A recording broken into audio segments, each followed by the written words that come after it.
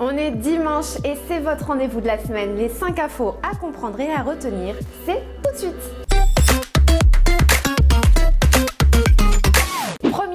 De la semaine, c'est le procès de Jawad, le logeur des djihadistes. Entrée fracassante de Jawad dans le tribunal qui scande les policiers de fils de p. Il se fait sortir du tribunal, bien évidemment. Les policiers ont porté plainte immédiatement pour outrage à agent, apologie du terrorisme et menace de mort sur personne dépositaire de l'autorité publique. Il a pris 8 mois ferme pour trafic de stupéfiants. Le logeur des djihadistes logera désormais en prison.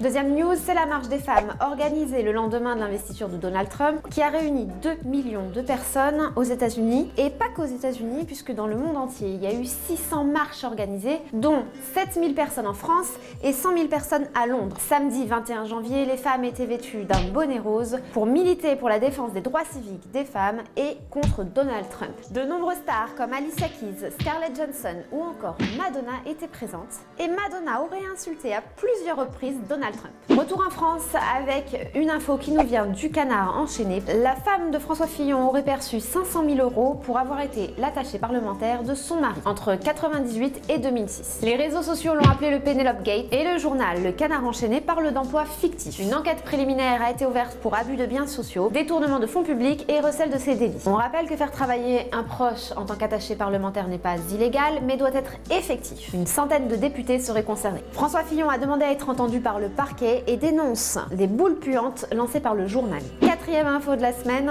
c'est encore Donald Trump et la mesure la plus emblématique de sa campagne, c'est la construction du mur entre les États-Unis et le Mexique. Pour financer le mur, Donald Trump promet de ponctionner 25 milliards de dollars à des immigrés mexicains qui envoient de l'argent à leur famille et de rompre l'accord de libre-échange avec les États-Unis et le Canada. Et dernière mesure de Donald Trump, c'est de supprimer le programme DACA créé par Obama en 2012. Cette mesure a permis à 750 000 clandestins arrivés mineurs d'obtenir des permis de séjour et de travail. Dernière information, c'est en Russie avec la dépénalisation des violences commises dans le cercle familial. Avant en Russie, on faisait deux ans de prison lorsqu'il s'agissait de violences familiales et maintenant on paye une amende de 5 000 à 30 000 roubles, voire des travaux obligatoires d'une durée maximale de 120 heures. En Russie, plus de 10 000 femmes meurent chaque année sous les coups de leur conjoint, en sachant que 40% de ces crimes sont commis dans le cercle familial. En Russie, seulement 3% des enquêtes ouvertes franchissent le seuil du tribunal et parfois la police n'intervient même pas. Les 5 news de la semaine, c'est maintenant terminé. Je lis tous vos commentaires sur les réseaux sociaux et je ne manquerai pas d'y répondre.